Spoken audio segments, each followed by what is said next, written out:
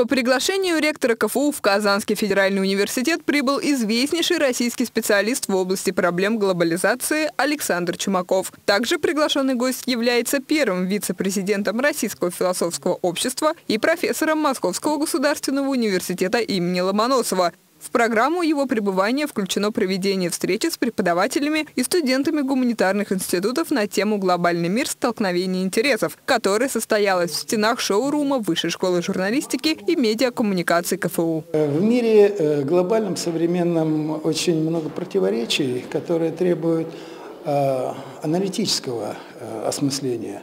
И прежде всего, исходя из того, что сегодня представляет именно глобальный мир.